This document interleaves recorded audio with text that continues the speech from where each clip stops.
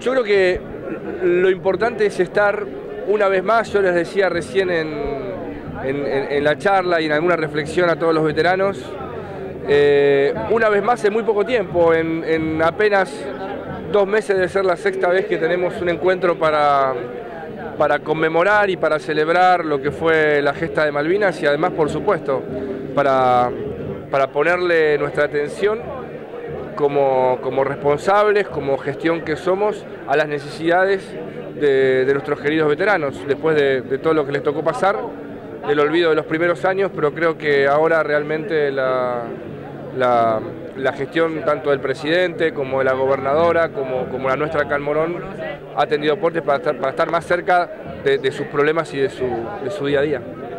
¿Cuáles son esas necesidades que están atendiendo?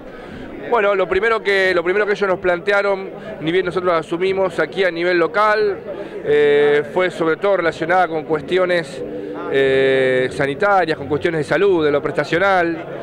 Como bien decía recién el presidente de la Federación Provincial, eh, ellos tienen una sintomatología muy particular, consecuencia, consecuencia siempre del, estrés posguerra eh, y con, patologías derivadas de eso, que tienen una atención bastante específica. Eh, lo primero que me hicieron saber a mí es que aquí nosotros a, nivel municipio lo que podíamos dar una se íbamos a dar, que es toda la parte de atención primaria o algún nivel de complejidad, pero la preocupación de ellos es que esto era en toda la provincia de Buenos Aires y en toda la nación. Por eso inmediatamente lo que hicimos fue concertar una reunión con la gobernadora de la provincia y con su equipo, con el equipo de salud eh, y con el equipo social, para que ellos directamente, nucleados en su, en su federación, puedan transmitirle esto directamente a la gobernadora. Tengo entendido que se está trabajando concretamente en esto. Y, lo de hoy me parece que también es una buena noticia que haya estado el doctor Regazzoni acá, eh, haciéndose cargo de este tema, cuando ellos señalaban lo mismo, que están acostumbrados a, no tener respuestas directas en términos prestacionales, en términos personales. Eh, ustedes saben que todos ellos son afiliados de PAMI, o sea que su, su prestador natural de toda esta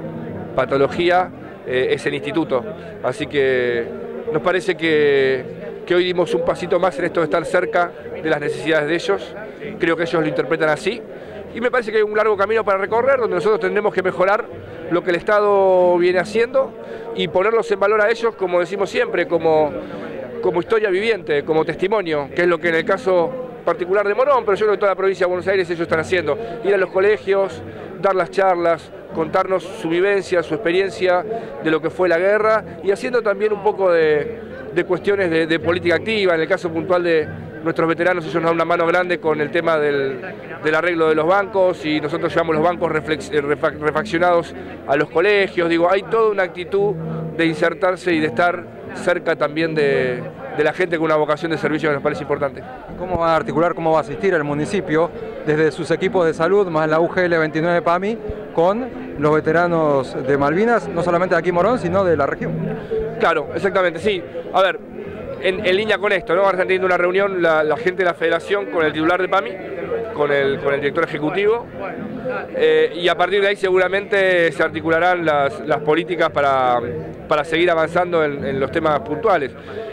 Inclusive nosotros ya para dar una mano estamos también trabajando con PAMI en términos prestacionales para,